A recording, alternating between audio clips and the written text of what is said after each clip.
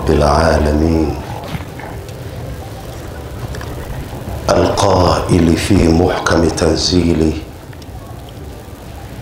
بعد أعوذ بالله من الشيطان الرجيم. خذ العفو وأمر بالعرف وأعرض عن الجاهلين. وصلى الله وسلم وبارك على النبي الأمي الهادي إلى الصراط المستقيم وبعد ndugu tuliohudhuria katika hadhara hii ya mtume Muhammad sallallahu alayhi wasallam tukiongozwa na viongozi wetu walimu zetu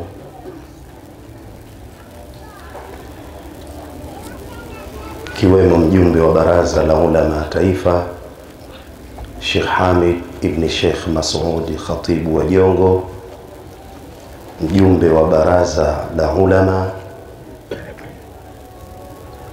Sheikh Isa ibn Uthman, lakini pia bila ya kumsahau katibu wa makatibu wote wa taasisi za Kiislamu Tanzania. Huyu ndio bosi wa makatibu wote, kaka yetu Alhaji Nuru Nuhu Jabir Mruma.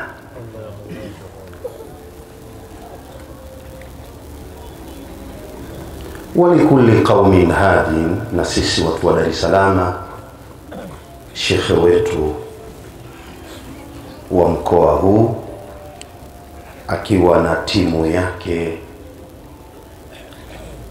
ya baraza la mashehe na kila watu wana mambo yao. Mi sio hodari kwenye mambo ya protocol, na hofia siende kaharibu mbele. Wakati nakuja, nipo pale nilimsikia msomaji anayasoma maneno ya Sheikh Jafar el-Barzanji, wasamihi idha wadatihi Muhammadan,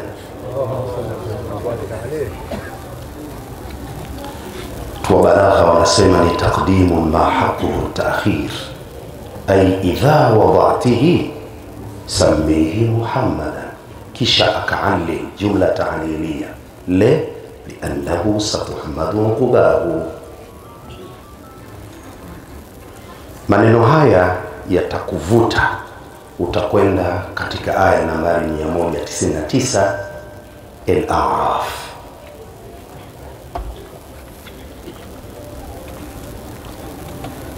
Ukisha ifungua mtoto huyo, na hii ni ishara ya tafauli ya msemaji akitamani wa kuzaliwa awe mwanamume. ndio maana alisema wasamihi, na wala hakusema wasamiha. Haqqan bifadlillah, alipozaliwa kweli akawa mwanamume, na jina akapewa hilo la Muhammad.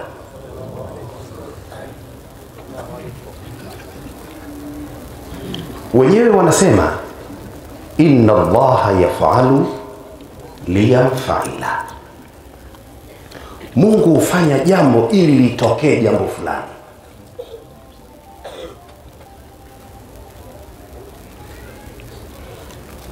Alizaliwa kweli akawa mwanamume na akapewa jina hilo la Muhammad وضم الإله اسم النبي إلى اسمه إذا قال في الخمس المؤذن أشهد وشق له من اسمه ليج له فذو العرش محمود وهذا محمد. هيكو bahati مايا وسميه إذا وضعته محمدا. وفضل fadhila za ukishajifungua mtoto huyo muite kwa maksudi Muhammad, kwa lengo maalum, liannahu satuhmadu uqubahu mansubun ala nazi lkhafi ay liannahu satuhmadu ila uqubahu. Mtoto huyo kijana huyo atakuwa akitajwa vizuri, akisifiwa mpaka mwisho. Hawa wakati wanapambana asisifiwe, wengine ndiyo kwanza wanaanzisha mpango wa maksudi asifiwe, liannahu liannahu satuhmadu uqbahu. Kwa nini sasa 199 Araf? Kwa nini?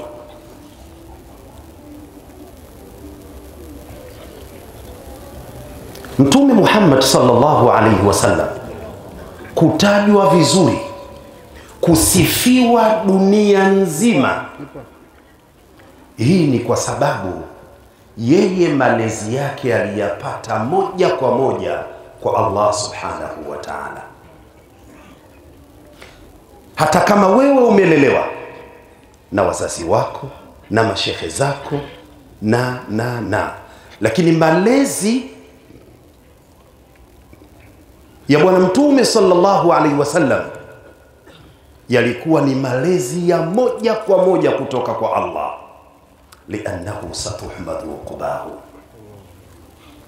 199 Allah kataja vifungu vitatu, ukivipitia kwa kina utaona ndiyo aya imeeleza tabia njema zote zinaishi ndani ya mafungu matatu haya. Khudhi afwa moja wamur bilurfi mbili, wa arid anil jahilina tatu. Uislamu wote umeishia hapa, ile kuonesha kwamba mfano wa Dar es Salaam, ili uweze kuishi Dar es Salaam, lakad kana lakum fi rasulillah uswatun hasana, khudhil afwa ili uishi Dar es Salaam uwe na tabia ya kusamehe, kwa sababu makabila yote ya, ya Tanzania yapo Dar es Salaam na kuna makabila mengine nje ya Tanzania yapo Dar es Salaam. Khudhi afwa, nenda kwa Mtume, rudisha kwenye maisha yako, utaishi Dar es Salaam. Khudhi afwa, kule kusamehe. Allah subhanahu wa ta'ala amekufananisha na kitu dhati ambacho unaweza ukakikamata, na ndiyo maana Mwenyezi Mungu akumwambia Mtume kuna ala tabiati lafwi, kamwambia khudh, chukua,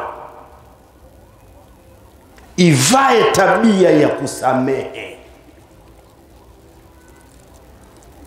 Taban, na Mtume Muhammad sallallahu alaihi wasallam alikuwa hivyo, mwenye kusamehe, kiumbe mwenye tabia ya kusamehe hata wale ambao katika maisha yao hawajawahi kusema samahani, pia mtume akawasamehe. Usipomsifu, usipompenda, usipomtaja mtu kama huyo, bila shaka watu watatia mushkeli kwenye kichwa chako kizima.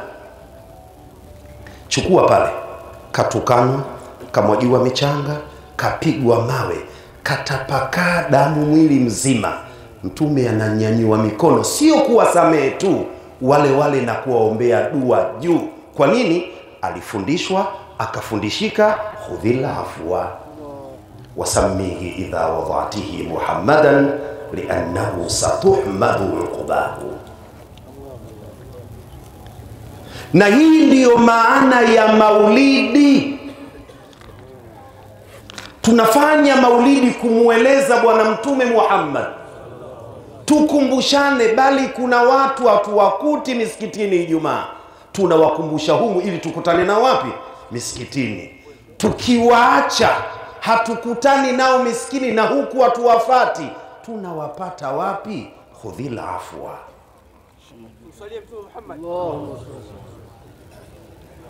Chukua, ivae tabia ya kusamehe shekhe kuna watu katika maisha yao wanaweza wakakuchukia ujawafanya chochote.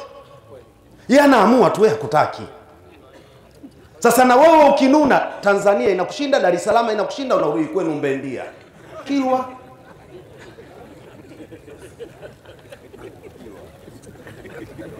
mtu mmoja alinaambia ili uishi dar es salaam jitahidi uwe kiziwi uwe kipofu yaani yanasemwa fanya kama usikii vile. Yanafanywa fanya kama uoni vile. Utaishi dar es salaam. Vinginevyo utamaliza vilinge. Wananisema unataka kuroga watu. Hudhila afua.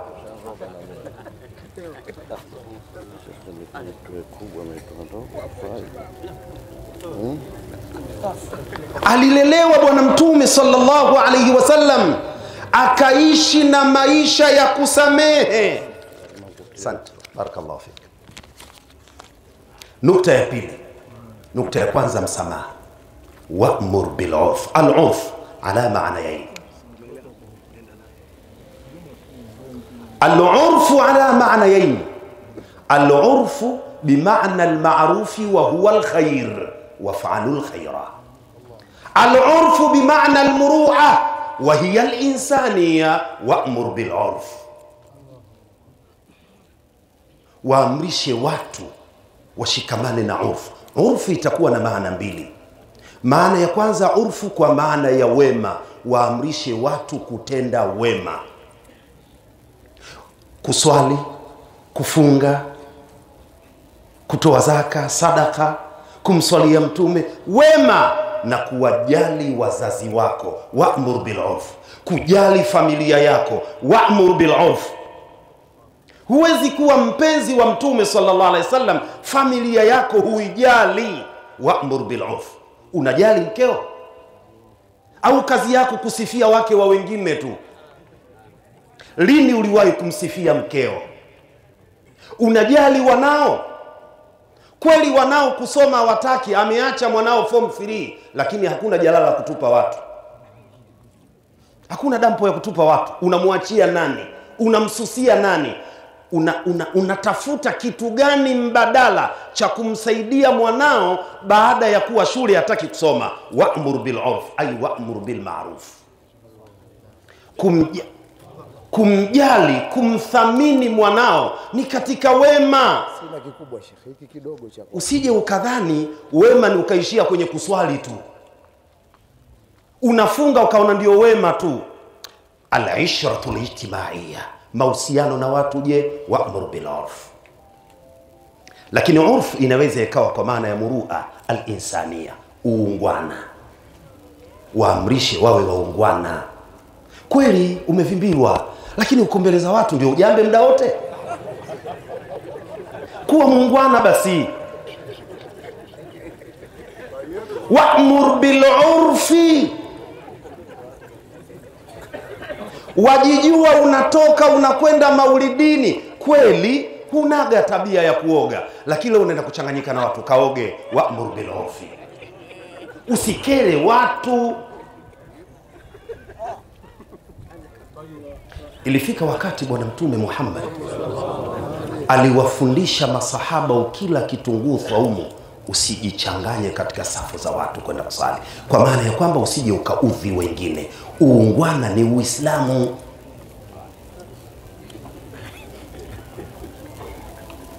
Ishi kiungwana. Tenda mema lakini kuwa muungwana. Wamur bilurf. Alurf kuthamini watu kuheshimu watu. Kuna watu shekhe mungu amewajaalia wanapenda kuheshimiwa lakini wao waheshimu watu.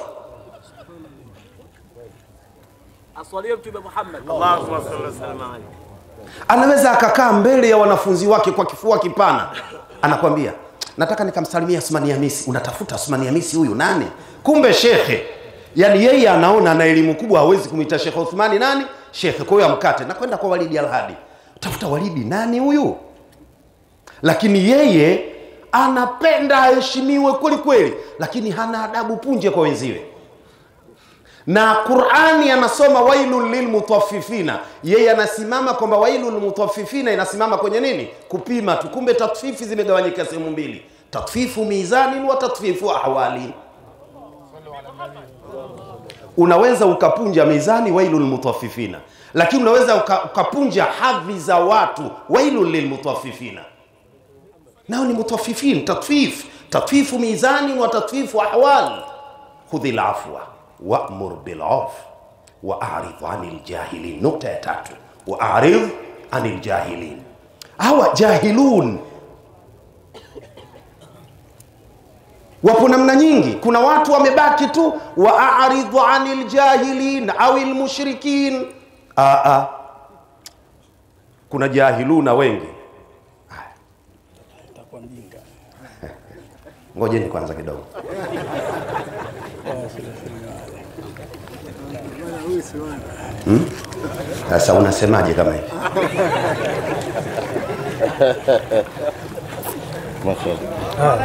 Asante. Mtume watu kama hao alikuwa nao. Ukiishi duniani unatakiwa uwe na kila sampuli ya watu na mtume alifaulu kwa hilo wewe shee unakaa na mashee tu basi. Ushafeli. Kuna mahala pengine hapahitajiki ushee panatakiwa watu tu. Ndio uislamu ulivyo. Waaridhu anil ljahilin katika jahilin tunaweza tukafasiri wasiojitambua wasiojali nafasi za watu inawezekana katika ukoo wenu. Wewe unajitoa katika mambo ya kifamilia lakini humo humo kwenye familia kuna watu hawakutaki aslan. Waaridhu anil jahilin wapotezee. Kuna watu ishi nao kama mwamvuli. Usiutupe kwa sababu kipindi cha kiangazi mvua itanyesha utawatumia. Kuna watu ishi nao kama kopo la chooni. Huna haja lakini utashikwa na haja utalihitaji muweke katika nafasi hiyo. Kweli kuna umeme kwenu lakini kuna watu ishi nao kama chupa ya mafuta taa. Itafika wakati umeme utakatika utaitumia ile chupa utaenda kutia mafuta. Ishi nao kwa mujibu walivyo. Waaridhu anil jahilin. Ukiwa shekhe iwa nafasi za watu lakini pia iwa namna walivyo watu. Kuna watu hivyo walivyo ndivyo walivyo anapenda awe na wewe. Lakini mwenzio ndo yuko hivyo. Ishi naye hivyo hivyo. Muweke vile alivyo. Ikifika wakati wa kumtumia unamtumia. Ukimaliza unaachana naye unaendelea na wengine. Huyu position yake ndiyo hii. Kuna wachezaji kwenye mpira mwaka wa sita kwenye usajili wamo lakini hawajawahi kucheza mechi hata moja. Yasome maisha hivyo usimwone yule yuko pale tu anakula mshahara kucheza achezi yule kuna kazi anafanya pale. Hata msikitini kaka yangu shekhe isa bin uthmani yeye imamu lakini kuna watu kazi yao wao adhana asiwadharau kwa sababu mimi imamu wale hawaweki kwenye nafasi yao kwamba mimi siswalishi bila ya hawa lakini kuna mtu yeye position yake kuhifadhi kisanduku cha sadaka. Ili mipango yaende yeye anatunza vizuri. Aheshimiwe kwenye nafasi hiyo. Asidharauliwe eti kwa sababu yeye ni mbeba kisanduku cha nini? Anatunza pesa za msikiti huyu. Kuna wengine wanaweka bigijii chini ya kidole gumba wakati wa kuhisabu kabisa nyinyi hamuoni vituko vya misikitini?